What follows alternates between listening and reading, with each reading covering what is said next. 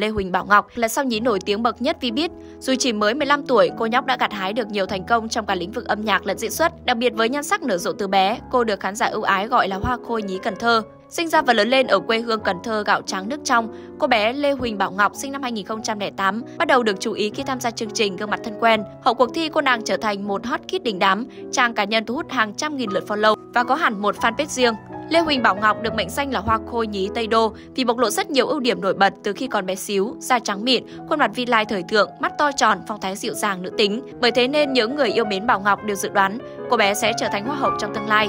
Thậm chí doanh nhân Phạm Kim Dung đã không ngớt lời khen ngợi Bảo Ngọc, suýt xoa trước vẻ đẹp nhìn mãi không chán của cô bé đến từ Tây Đô. Lê Huỳnh Bảo Ngọc là sao nhí hiếm hoi được Phạm Kim Dung dẫn dắt. Theo tương tác trên mạng xã hội, bà Trung Hoa hậu còn nhận hoa khôi nhí Tây Đô là con gái nuôi. Thậm chí chủ tịch cuộc thi Miss Grand International, ông Nawat cũng từng nhấn follow tài khoản trang cá nhân của cô. Nhiều người hâm mộ kỳ vọng sự hợp tác giữa bà Trung Hoa hậu và Lê Huỳnh Bảo Ngọc chính là tín hiệu đáng mừng cho việc hoa khôi nhí Cần Thơ sẽ sớm theo đuổi sự nghiệp hương sắc và trở thành hoa hậu Việt Nam trong tương lai. Được động viên thi hoa hậu nhưng trong một lần chia sẻ, Bảo Ngọc cho biết chuyện tương lai khó nói trước, cô bé bộc bạch, biết đâu sau này lớn lên em làm nhân viên văn phòng hay là tiếp viên hàng không thì sao? Em thích lĩnh vực nghệ thuật hơn nhưng hiện tại mục tiêu trước mắt là việc học. Sau khi nổi tiếng nhờ các game show, chương trình truyền hình, Bảo Ngọc trở thành tài năng nhí vô cùng đắt sâu. Cô bé liên tục được mời đóng quảng cáo, chụp và trình diễn thời trang, biểu diễn trong các chương trình ca nhạc, góp mặt cả trong bộ phim đình đám Tôi tới hoa vàng trên cỏ xanh. Đặc biệt Bảo Ngọc gây ấn tượng mạnh khi đảm nhận vai Lam Chi trong series Gia đình là số 1, từng gây sốt ở Hàn Quốc. Hoa khôi nhí Tây Đô cũng từng hợp tác làm việc với rất nhiều người nổi tiếng khác như Hoa hậu Đỗ Mỹ Linh,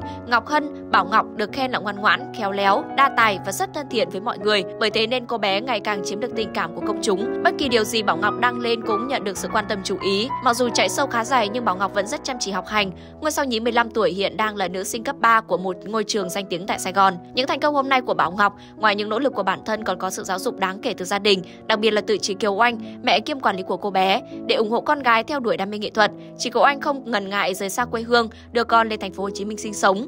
Chị vừa theo sát các hoạt động của con gái trong làng giải trí, vừa tỉ mỉ dạy dỗ con trong cuộc sống hàng ngày. Bảo Ngọc từng chia sẻ cô nhóc không thường xuyên lên mạng, các tài khoản mạng xã hội của con đều do mẹ quản lý. Hàng ngày cô bé đều tập trung học, tập thể dục và rèn luyện các bộ môn năng khiếu, đi ngủ sớm trước 10 giờ để phát triển chiều cao tối đa, nếp sống ngăn nắp và lành mạnh, giúp sao nhí Cần Thơ cân bằng được công việc và chuyện học, đạt được những thành tích cao. Về phía mẹ Bảo Ngọc, chị Kiều Anh cho biết gia đình vẫn luôn định hướng con tập trung học tập là chính và chỉ tham gia nghệ thuật trong thời gian rảnh. Từ hồi trước đến giờ tôi với bé không chia sẻ chuyện riêng tư gì về báo chí cả vì hiện tại Bảo Ngọc không có gì để chia sẻ. Bé Ngọc đi học là chủ yếu, chỉ khi nào nghỉ hè rảnh rảnh thì mới hoạt động nghệ thuật. Ở hiện tại tôi tập trung cho con đi học, mẹ Bảo Ngọc tâm sự. Những ngày qua, thông tin về vụ ồn ào giữa Thơ Nguyễn và sao nhí Bảo Ngọc được mọi người quan tâm. Vụ việc bắt nguồn từ clip YouTuber lên tiếng bóng gió về một diễn viên nhí có thái độ không tốt khi cả hai có dịp làm việc chung.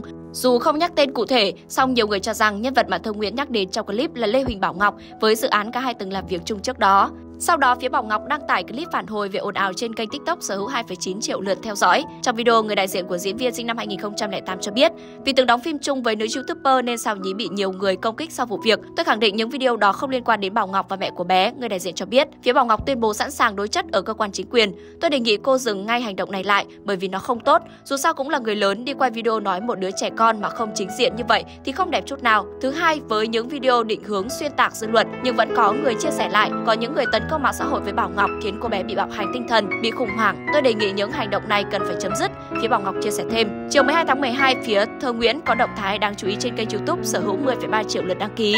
Trong video vừa đăng tải, nữ YouTuber 9X chia sẻ, từ bây giờ tôi sẽ không làm clip nữa, hay nói cách khác là giải nghệ. Thơ Nguyễn nói cô nhận ra làm người nổi tiếng khó khăn, đôi lúc nói lên ấm ức của bản thân nhưng từ nạn nhân tôi trở thành người đi hại người khác, cho nên tôi không muốn làm người nổi tiếng nữa, tôi muốn được là chính mình, muốn được mạnh mẽ, cô nói. Hiện đại đa số dân mạng ai cũng mong muốn mọi chuyện nhanh chóng kết thúc để Bảo Ngọc có thể quay về làm việc, học tập.